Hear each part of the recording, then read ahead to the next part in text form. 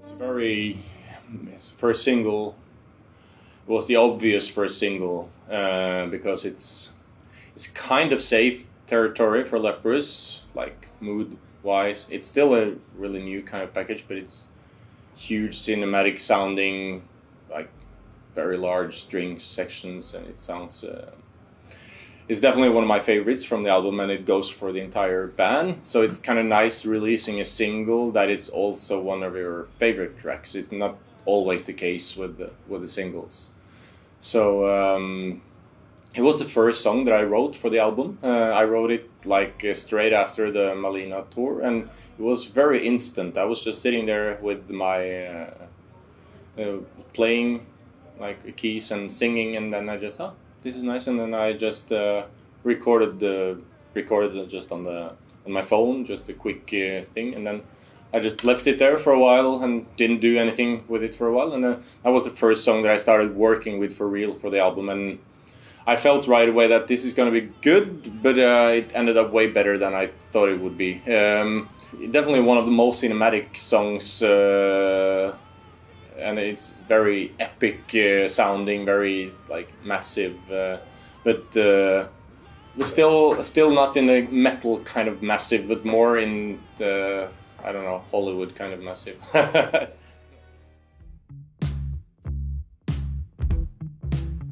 I Lose Hope. Uh, that's one of the songs that I was 100% certain that wasn't going to make it to the album.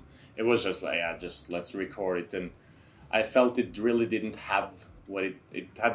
It wasn't, it was alright, but there were other songs that had way more character to, to them, you know. And, uh, but then the song kind of just developed a lot through the studio, and and uh, and then uh, it was like the bass line that was kind of one of the main things in the intro and throughout the song was not really that interesting. So so uh, Simon kind of uh, took a bit charge of, of the of, of uh, changing up that, and and suddenly it got a really different kind of vibe to it. Mm. yeah. yeah that's one of the cool things about working in the studio. It was uh, kind of like a art by accident kind of thing because um, the day before we were uh, about to track the drums on on I Lose Hope, uh, I was just inside the the studio apartment and and trying just trying to to figure out the the riff that was written, and it was like boom, beep, boom, Shmee, shmee, shmoo. Sound like DuckTales. Yeah, DuckTales. the super slow version of DuckTales. Yeah, or something. Uh, but I, I kind of like the the hip hop groove uh, in it, and I just heard the the track, and it was so different from the rest of the the, the record because of the the swing feel of the groove and stuff. So. And uh, I know it's actually in the room. I think you were making some food or something. Yeah. And I was just like fiddling around with it, and then I was like, shmee, boom, shmoo, and then he's like, yeah, that was that was cool. And then I just boom, boom, and he sang something, and I just kind of picked up on on that, and then the the the sequence was just building, and then became a groove.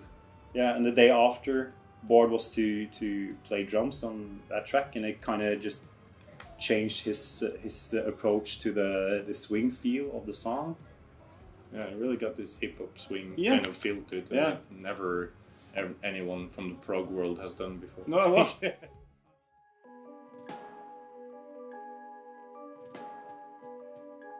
this track is one of the most uh, mellow tracks we've written in many years. It's it's very dreamy. It's very peaceful. It's very pleasant. It's not really a prog track. It's not a metal track. It's not. It's just kind of alternative, dreamy music, and it's it's one of the most peaceful like lyrics ever written for that song, and it's it's all about just acceptance and just lowering your shoulders, really.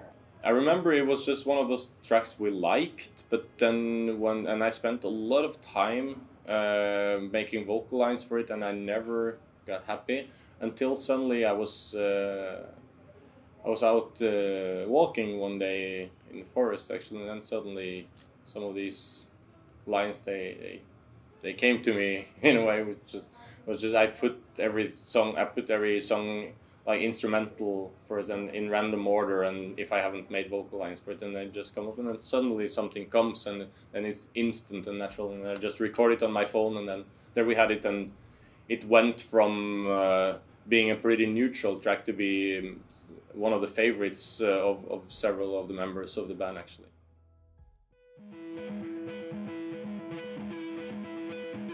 I don't know what to say about that song really because it's so different in many ways. It's uh, it's super repetitive. It's just like same kind of section goes on through the whole song. Uh, this kind of melody line that keeps on repeating itself in a really weird time signature, but still it kind of sounds like it's four four when it's like I don't know 17 16 or something like that. I don't I don't even remember. And I have no idea why I did it. It was just like I think it was just a mistake that I forgot to change it and the in the it was just oh sounds cool. And uh, like most things you so many things that I write are just uh, made kind of by accident. And uh, but what is not an accident is to kind of have the experience to recognize the the, the good ideas when they're there and to oh there we have something anyway.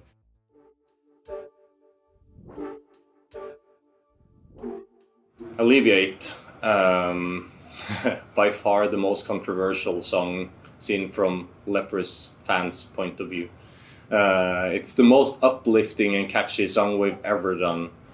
Uh, and it's too much for some. Uh, I love it personally. I've always been a sucker for cheesiness and uh, and catchiness, and for me, it's not cheesy. I, I love the song uh, uh, very much, and it's uh, important. It has carries an important message for me. It's kind of has more hope in it. You know, it's about uh, you know when you're struggling a lot with with mental health issues, and then and once you reach that point that you know there is nothing you really you can do about it, but you just accept it and wait for it to pass and become better, and it always does, you know. So it's so the song has a lot of hope in it, and which is why for me it's a very important song on the album. But uh, it's gonna get a lot of hate. Uh, we're a prog. We we started off as a prog band. This song is so not prog at all. Very uplifting and very very uh, like a pop track, you know. Uh, so by far the most controversial song on the album. And it's funny because on a different album it would be the least controversial probably. I, I mean, if it was uh, if you were a pop band, it would be the least controversial song. But for us, who comes from a different background, it's gonna be people are oh this is not prog. What the fuck happened with this band? And uh, why are they doing this? This sucks. This is so cheesy. This is terrible and blah blah blah. This is pop music and it's a, it's a curse uh, in in the prog world pop music and I never really got that. I always loved lots of different pop bands. You know, for me, I, I don't care about genres. It's just like either is either it speaks to me or it doesn't. So uh, yeah, it's a very yeah. It, it's the most uplifting Leprous song that has ever been written, I think.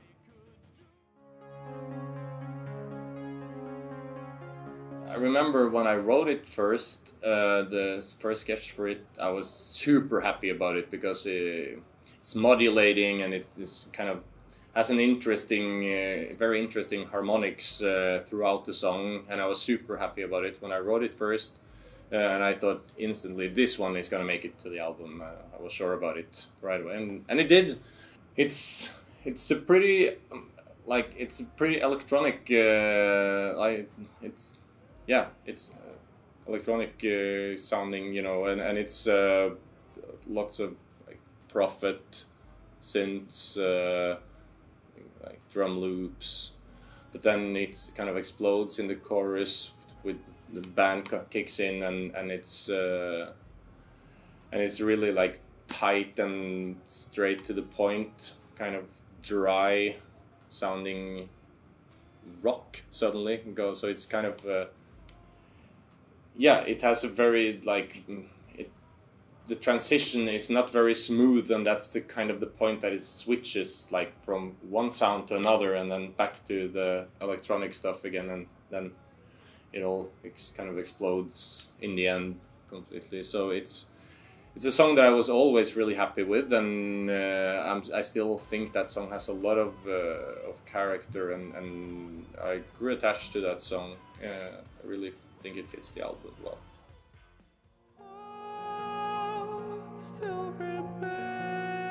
Uh, Distant Bells started uh, kind of with a grand piano riff. It's very, it's it's uh, super low in dynamics and pretty intense at the same time. So the whole song is kind of an experiment in keeping it intense, but keeping it, you know, low in dynamics at the same time, and trying to see how far you can stretch tension without, you know, pouring in tons and tons of dynamics into the song.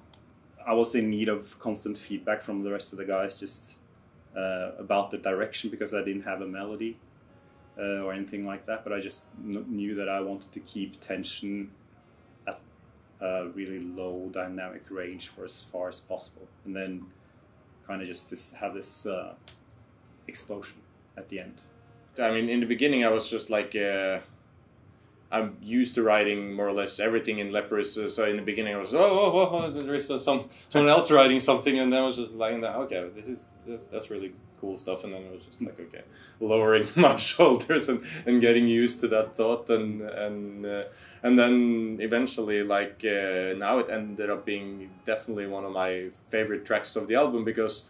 I got to have a completely different role on that song than on the other ones because I wasn't the one composing it uh, from from the beginning in, in at all. I, I wasn't like he's the composer of the song, and so I got to kind of just use my creativity in a different way uh, to to just only make vocal lines and to figure out how to play the stuff and to figure out how to do the and I've I'm used to that. That's what the others are doing with my stuff. Uh, when I make something, they they figure out how to play it, and and it was very interesting. And and that song was really different than the rest of the songs because most of the other songs were more finished Mm. when we when we started recording, Mm. but that one was completely up for interpretation and it Mm. was really really really open so that it kept uh, kept at least me very focused on doing uh, a, a good job and uh, so yeah it's, it's definitely if i put on the track it's definitely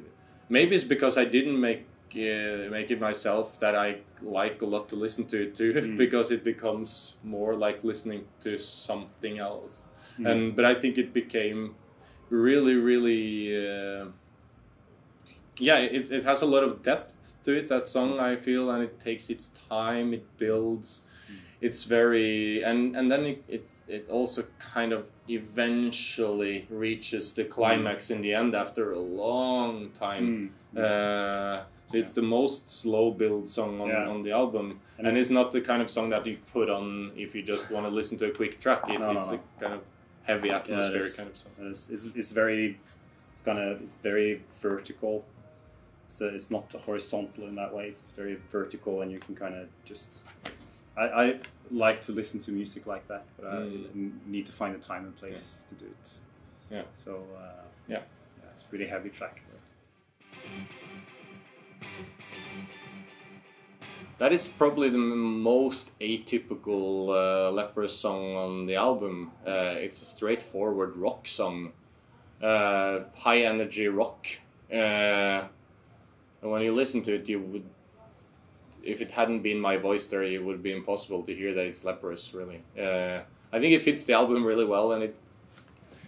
The album needs that kind of energy, you know, because we have a lot, a lot of songs that are kind of holding back and building and that one is straight to the point 4-4 rock song um, with lots of energy and i think it's going to be a great live song it was also the, one of the songs that we were not certain about until we finished the vocals and it became yeah really i like the song a lot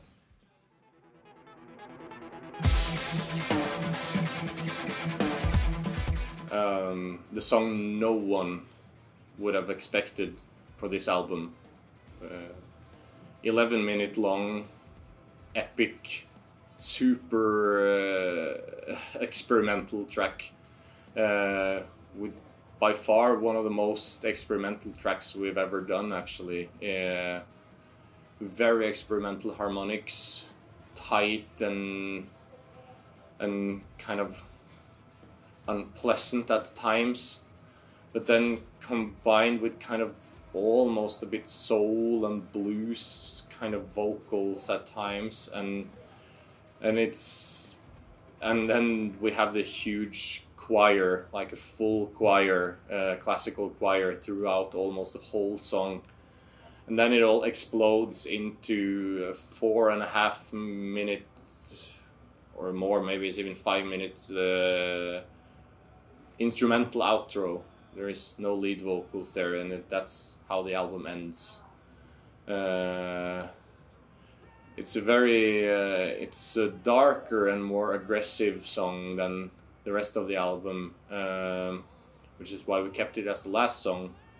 Uh, and the song is all about aggression, really, the lyrical theme, and it's about anger and how it can consume you and and it's a disturbing track that I think will either be the favorite or the least favorite of many people, depending on where they come from musically. I think it's crazy to have uh, to have uh, the sky is red and alleviate uh, on the same album. They're like two completely different worlds, and they're both being released as singles. So uh, so it's uh, I'm, I'm really super happy with the song, or else we would have never ever put it on the album because in the beginning we thought, oh, this doesn't really fit. It's it's too it should be a standalone thing or something else, you know. But but then again, every time we put it on the on the album, we felt okay, the album becomes much richer with that song than without. So let's just fuck it, just keep it there and uh, and. Uh, just go for it 100% and even release a video with it, you know. Uh, so, so yeah, we went all the way with that track, and I don't think people really saw that coming after hearing the first two singles.